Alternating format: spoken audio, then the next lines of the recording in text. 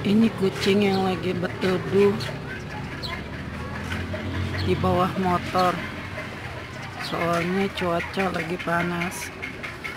Hmm.